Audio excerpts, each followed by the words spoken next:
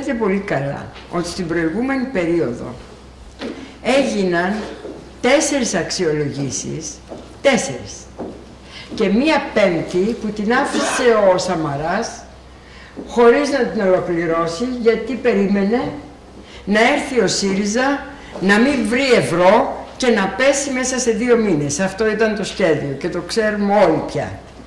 Και σας ρωτώ, εσάς τους εκπροσώπους του τύπου, ακούσατε ποτέ τίποτα κάθε φορά που γινόταν αξιολόγηση; Εμάθαινε κανείς τίποτα, ποια τους λέγανε οι δανειστές, τι διαπραγματευόντουσαν, αν διαπραγματευόντουσαν τις τέσσερις φορές; Όχι εμείς που έχουμε κάνει μία αξιολόγηση και τώρα ολοκληρώνουμε τη δεύτερη και ξέρει κάθε Έλληνας με τον πιο χειρότερο τρόπο ακριβώς τι έχουμε κάνει από τη μια και τι διεκδικούμε, μακάρι να μάθαινε ο κάθε Έλληνας ακριβώς, εκείνο όμως που ξέρει είναι ο φόβος, πρωί, μεσημέρι, βράδυ, πάνω από τις πόλεις μας, ότι εδώ τώρα τα έχουμε κάνει όλα μουσκεμα, θα τα χάσουμε όλα, μας έχουν στήσει τον τοίχο, πάμε για χειρότερα. Αυτό είναι κάθε φορά που γίνεται αξιολόγηση.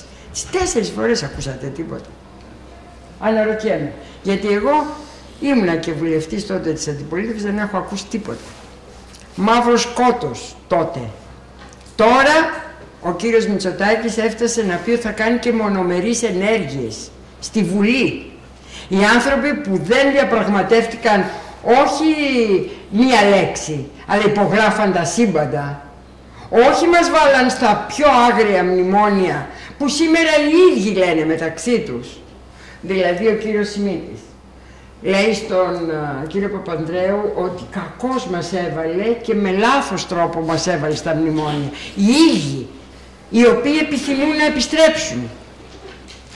Αφού έχουν αναβαθμιστεί, δεν ξέρω σε ποια κολυβήθρα του Σιλοάμ, αλλά μάλλον στη λίμνη αμνησία. Αμνησία. Δεν βλέπω κάποια άλλη της λύθης. Σε αυτήν ελπίζουνε, φαντάζομαι. Οι άνθρωποι λοιπόν αυτοί που μα κατέστρεψαν 25% χάσαμε από το, δημόσιο, από το πλούτο της χώρας. Και αυτό σήμαινε 50% από τους μισθούς και τις αποδοχές του καθενός μας οι οποίοι κατέστρεψαν το κοινωνικό κράτος, απέλησαν ο ίδιος ο Μητσοτάκης με την ε, Συμφωνία της Αλήθειας, απέλησε τόσους πολλούς ε, από την παιδεία και βεβαίως σήμερα εκείνη που είναι η το κυρίαρχο του πρόβλημα είναι πώς θα κάνουμε ιδιωτικά πανεπιστήμια. Για να, γιατί προφανώς όλη η πολιτική ήταν το κοινωνικό όλο κράτος να δοθεί στους ιδιώτες. Παιδεία, υγεία, κοινωνική προστασία. Αυτό είναι η δεξιά, αυτό είναι ο ανακαινισμένος κύριος Μητσοτάκης, ε, ο οποίος θα μας πει μόνο αλήθειες και μας λέει μόνο αλήθειες, μόνο που δεν μας λέει. Να υπογράψουμε λοιπόν τώρα τη δεύτερη αξιολόγηση. Πώς; Ακριβώς αυτός τι θα υπέγραφε τώρα; Θα υπέγραφε μέτρα νέα μετά το μνημόνιο; Θα υπέγραφε νέα μέτρα; Γιατί δεν μας το λέει. Ζητάει μόνο να πέσει η ανίκανη κυβέρνηση. Το πόσο ανίκανοι είμαστε θα το εξηγήσω σε δύο χρόνια, για τα δύο αυτά χρόνια που δεν μπορούν να, να προλάβουν να κάνουν όσα πρέπει να κάνουν μέσα από αυτά που χάλασαν οι άλλοι 40 χρόνια συστηματικά. Δεν προλαβαίνουμε. Σε δύο χρόνια τα κάνουμε όλα. Θα εξηγήσω όμως τι κάναμε ζητάει λοιπόν ο κύριος Μητσοτάκης ακριβώς ε, εκλογές εδώ και τώρα για να υπογράψει αυτό το μνημόνιο γιατί δεν μας λέει λοιπόν τι θα υπογράψει αφού είναι έτοιμος. Τόσο απλή λοιπόν συμφωνία αλήθειας. Ας μας πει εδώ και τώρα τι ακριβώς θα υπογράψει. Αυτό είναι το ένα.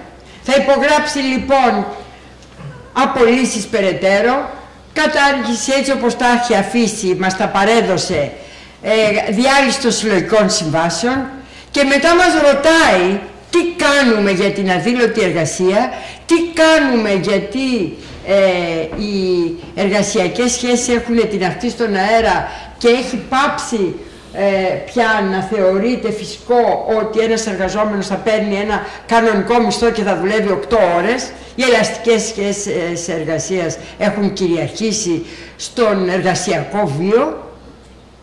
Αυτοί μας τα παρέδωσαν αυτά. Και η υπουργός μου σήμερα παλεύει με νύχια και με δόντια σε όλα τα φόρα τα ευρωπαϊκά για να επαναφέρει τις συλλογικές συμβάσεις. Όταν έχει αποδειχθεί ότι δεν υπάρχει ανάπτυξη χωρίς συλλογικές συμβάσεις. Μόνο τα κράτη που έχουν συλλογικές συμβάσεις στην Ευρώπη έχουν ρυθμούς καλύτερους ανάπτυξης. Αν δεν το είχαμε αυτό, θα ήμασταν κι εμείς στο παραμύθι ότι όσο περισσότερο έχεις τον εργαζόμενο να τον απολύσεις ό,τι ώρα θέλεις, τόσο θα πετύχεις καλύτερη ανάπτυξη και καλύτερη, θα βγάλεις και λεφτά. Αυτοί οι οποίοι ήταν οι πρωταγωνιστές στο κράτος της διαπλοκής με το τρίγωνο όπως έχουμε πει της αμαρτίας τα κεφάλαιο, οι τράπεζες, το πολιτικό προσωπικό και τα μίντια.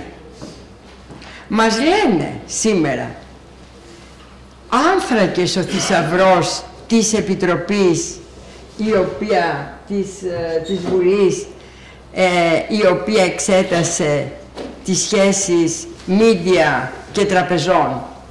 Άνθρακες ο θησαυρός. Άνθρακες ο κάθε Έλληνας που ήταν μπροστά στην τηλεόραση και άκουσε το πιο συγκλονιστικό σύριαλ όλες αυτές τις μέρες επί, επί έξι μήνες. Επί έξι μήνες περίπου. Άκουσε το πιο συγκλονιστικό σύριαλ να λένε οι καναλάρχες πως με αέρα, με αέρα, κοπανιστό, χωρίς εγγυήσεις δηλαδή καμία, τους δίναν δάνεια. Και δεν μου λέτε, μας κατηγορούν σήμερα ότι γιατί δεν βαγάλαμε κανένα λαμπρό όνομα, πολιτικό όνομα, να το στείλουμε στον εισαγγελέα.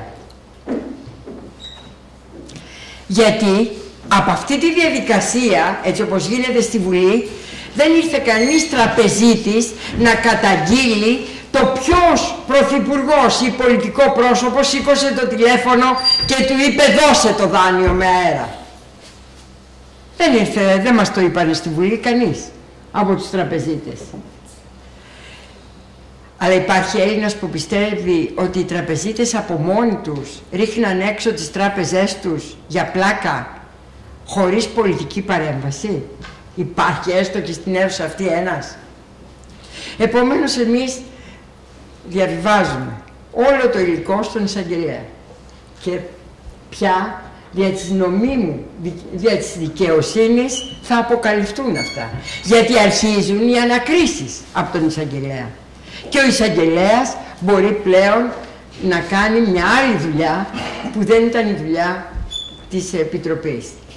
Αλλά πια αυτό που λέγαμε από την πρώτη στιγμή, νομίζω δεν υπάρχει Έλληνας, ό,τι και να λένε, άνθρακες ο θησαυρό, τίποτα δεν απεδείχθη, δεν υπάρχει άνθρωπος που να πιστεύει ότι οι τραπεζίτες με γενεοδορία προς τα μίντια δίνανε 211 εκατομμύρια στη Νέα Δημοκρατία ε, χωρίς να μπορεί να τα εξυπηρετήσει, 199 εκατομμύρια στο Πασό χωρίς να τα εξυπηρετήσει, τζάμπα στον κύριο Μητσοτάκη αυτοπροσώπος για την εφημερίδα του, τον κύριο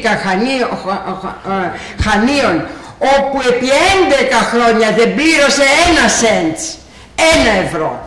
Παρά μόνον όταν αποκαλύφθηκε στην Επιτροπή έκανε μία σκανδαλώδη και άθλια συμφωνία με την τράπεζα, ακούστε, ακούστε, να πληρώσει ένα ελάχιστο ποσό ε, τον πρώτο καιρό, τώρα αυτά τα χρόνια, και όταν τελειώσει η περίοδος πρέπει να αποπληρώσει, να πληρώσει όλο το ποσό τότε. Δηλαδή 650.000 να πληρώσει την τελευταία μέρα και μέχρι τότε να πληρώνει 3.000.